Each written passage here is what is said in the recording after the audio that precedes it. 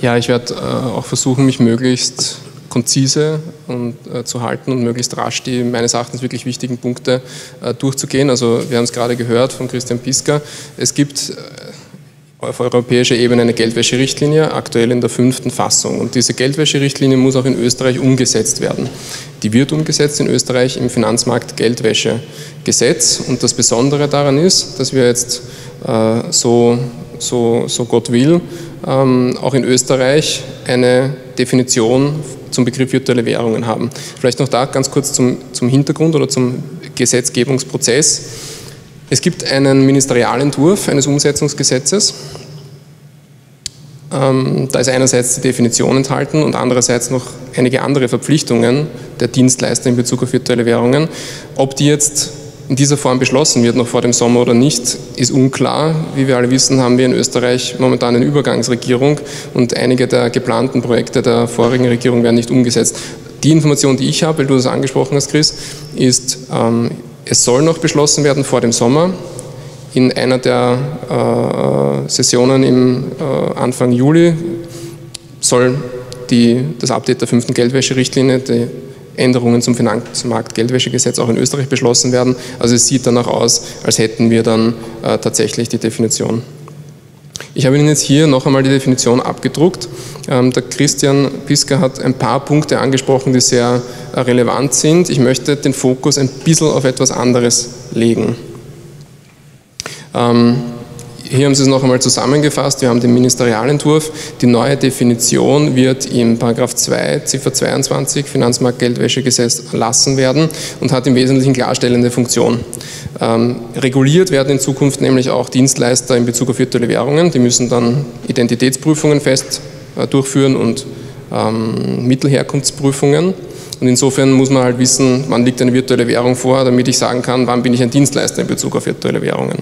Äh, außerdem wird es bestimmte Registrierungspflichten geben nach dem neuen Gesetz. Aber wie gesagt, wir wissen noch nicht ganz, ob äh, sich das ausgeht. Vielleicht schon.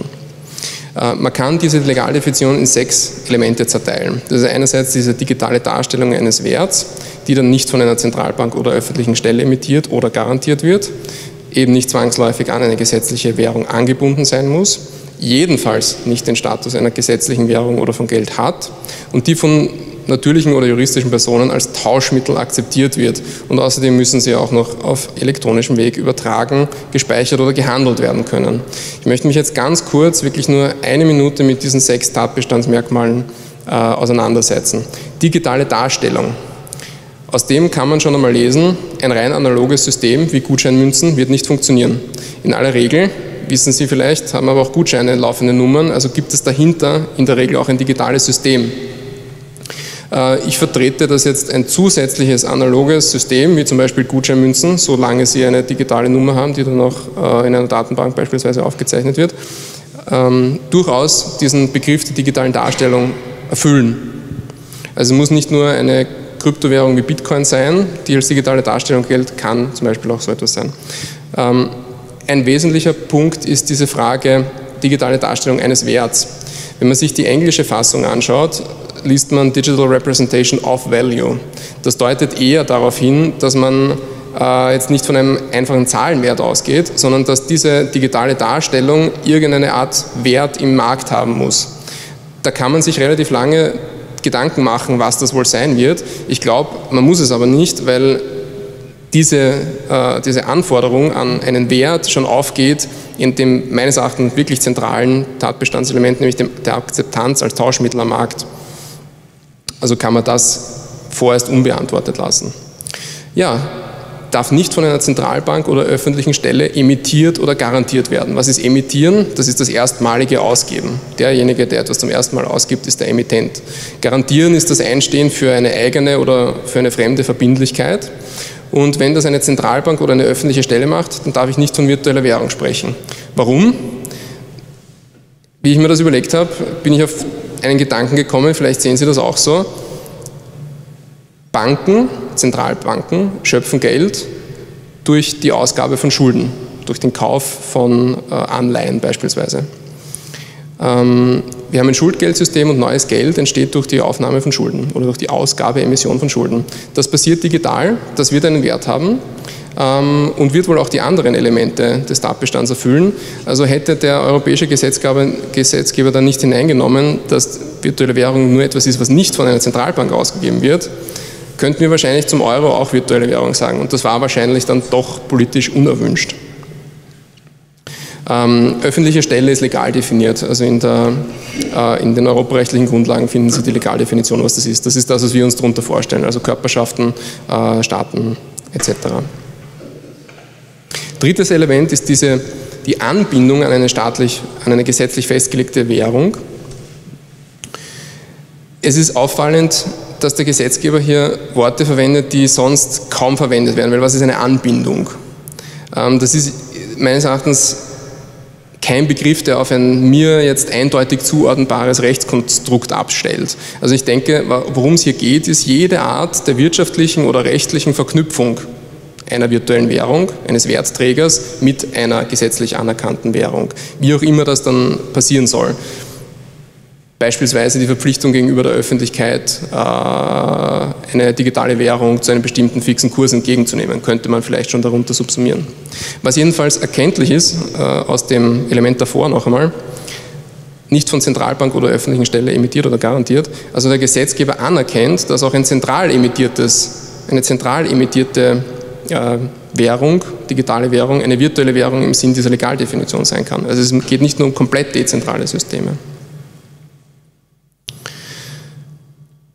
Es darf aber nicht den gesetzlichen Status einer Währung oder von Geld haben. Auch dazu kann man sich relativ viele Gedanken machen, was das letztlich bedeutet. Äh, ich denke, wenn jetzt der europäische Gesetzgeber auf die Idee käme, Bitcoin als eine gesetzliche Währung zu qualifizieren, einfach per Gesetz, dann würde das wohl äh, die Qualifikation als virtuelle Währung ausschließen, weil dann ist es de facto als gesetzliche Währung normiert. Man kann sich aber auch die Frage stellen, was beispielsweise mit Japan ge äh, gelten soll, wo Bitcoin als, Gesetz, als anerkannte Währung, als Währung anerkannt wurde. Soll das jetzt bei uns auch schon dazu führen, dass Bitcoin nicht mehr virtuelle Währung ist? Das ist jetzt eine Frage, die ich einfach im, im Raum stehen lasse. Das, worüber ich mich ein bisschen im Detail unterhalten möchte, ist dieses fünfte Tatbestandselement, nämlich dass virtuelle Währungen von juristischen oder natürlichen Personen als Tauschmittel akzeptiert werden müssen. Jetzt kann man sich zunächst schon mal fragen, warum steht da natürliche oder juristische Personen? Heißt das, es muss nur von einer, also nämlich verbunden mit einem Oder, heißt das, es muss nur von einer der beiden akzeptiert werden und von den anderen darf das nicht der Fall sein? Ich glaube, der Hintergrund äh, dieser Einfügung ist darin zu sehen, dass auch schon wie die Definition erstellt wurde, dem europäischen Gesetzgeber klar war, es gibt Projekte, wie zum Beispiel Ripple, wo vordringlich Banken äh, involviert sind oder hauptsächlich juristische Personen. Ähm, möglicherweise kann man mit Ripple nicht in, in, in Shops zahlen. Wir als Stadlervölker akzeptieren Bitcoin, aber nicht Ripple. Ich glaube, diese, danke. Ich glaube, diese Einfügung ähm, soll einfach nur verdeutlichen, okay, auch Blockchains, die jetzt in, ba in Bankenbranchen oder in, in nur von bestimmten Unternehmen akzeptiert werden, sollen noch als virtuelle Währungen gelten können. Tauschmittel ist ein relevanter, äh, ein, ein sehr relevantes Element. Ursprünglich sah die Definition nämlich hier noch, wie der Christian Bisker auch schon gesagt hat, den Begriff Zahlungsmittel vor. Davon ist dann der Rechtsausschuss abgegangen und hat den Begriff Tauschmittel eingeführt. Und damit man versteht, warum das wichtig ist, ist es, glaube ich, ganz wichtig zu sehen, was der Unterschied zwischen einem Tausch und einem Zahlungsmittel ist. Und wenn wir da nur kurz einen Exkurs machen, Zahlen heißt Erfüllen einer Geldschuld. Und auf europäischer Ebene gibt es im Wesentlichen, oder in den europäischen Grundlagen, Rechtsgrundlagen, gibt es im Wesentlichen drei Arten von Zahlungsmitteln. Das ist einerseits das E-Geld im Sinn der E-Geld-Richtlinie, das ist andererseits Zahlungsdienste und Zahlungsinstrumente im Sinn der Zahlungsdienste-Richtlinie, die PSD2, und das sind sonstige Zahlungsmittel im Sinn der Capital Requirements Directive der aktuellen. Das sind die Zahlungsmittel. Mehr gibt es jetzt nicht im Sinne der europäischen Definitionen. Gemeinsam ist denen allen, also sie haben alle unterschiedliche Voraussetzungen, aber wenn ich es jetzt auf das Einfachste runterbreche, gemeinsam ist allen, die repräsentieren die Forderung gegen ein ausgebendes Institut. Sie kaufen beim E-Geld-Institut E-Geld, das können Sie dann verwenden zu zahlen und eine andere Person löst das E-Geld bei dem Institut ein. Darum hat das überhaupt Wert, weil es ein Versprechen einer Forderungseinlösung dahinter gibt. Ähm, und das ist genau das Element, das Zahlungsmittel von Tauschmitteln unterscheidet. Weil ein Bitcoin hat keine, äh, äh, also repräsentiert nirgendwo das Versprechen einer Forderungseinlösung. Sie haben das Bitcoin in Ihrer Wallet und übertragen es. Ist etwas anderes als Forderungen. Deswegen Tauschmittel lassen sich am besten negativ abgrenzen. Wenn es kein Zahlungsmittel ist, dann ist es ein Tauschmittel. Zahlungsmittel haben wir eben die drei europäischen, die ich besprochen habe. Und, und das ist wirklich das absolute Kernelement, natürliche und juristische Personen müssen diese virtuelle Währung als Tauschmittel akzeptieren. Und daraus kann man meines Erachtens relativ viel herauslesen. Nämlich erstens, Akzeptieren stellt nur auf die Nachfrageseite ab.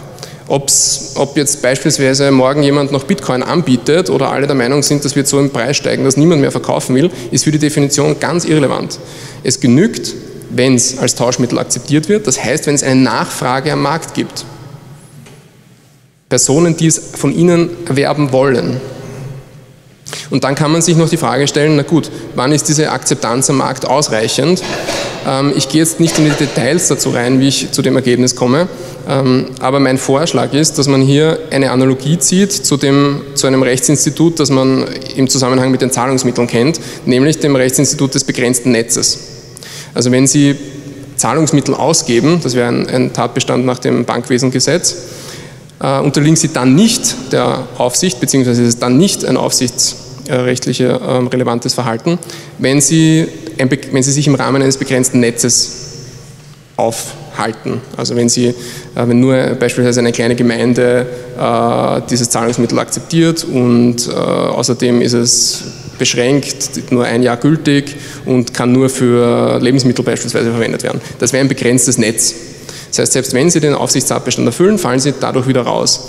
Ähm, ich glaube, dass man diese, die Judikatur oder die Überlegungen, die es dazu gibt, hier nutzbar machen kann, nur genau im umgekehrten Sinn.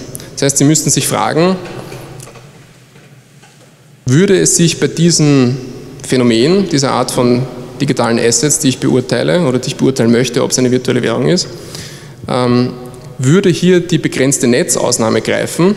Wenn Sie das bejahen, dann müssten Sie sagen, gut, dann kann es keine virtuelle Währung sein, weil dann fehlt es an der allgemeinen Akzeptanz. Umgekehrt, wenn Sie sagen, das Phänomen oder diese Währung, die ich beurteile, das digitale Asset, das wird nicht mehr unter den Ausnahmetatbestand des begrenzten Netzes fallen, dann wird es wohl als virtuelle Währung gelten können. Warum? Weil sie ausreichende Akzeptanz haben als Tauschmittel. Ja, und das äh, sechste Element ist, es muss auf elektronischem Wege übertragen, gespeichert und gehandelt werden. Auch dazu kann man sich im Detail noch Gedanken machen, die ich jetzt nicht äh, im Sinne der Zeit weiter ausführen möchte. Vielleicht noch ganz allgemein der Hinweis, ähm, dass dazu im, in der nächsten Zeitschrift für Finanzrecht auch ein Artikel erscheint, der das im, im Detail noch erörtert. Und was ich vielleicht auch noch ganz kurz äh, anbringen darf, ist äh, dieses Buch hier, das Sie sehen, von Piska Völkel als Herausgeber und vielen Autoren, denen ich jetzt schon danken darf. Ähm, Handbuch zu Kryptowährungen mit dem Titel Blockchain Rules, ähm, das hoffentlich jetzt in den nächsten Monaten in den Läden stehen wird. Gut, dann danke recht herzlich und ich darf mich jetzt freuen auf eine äh spannende Diskussion.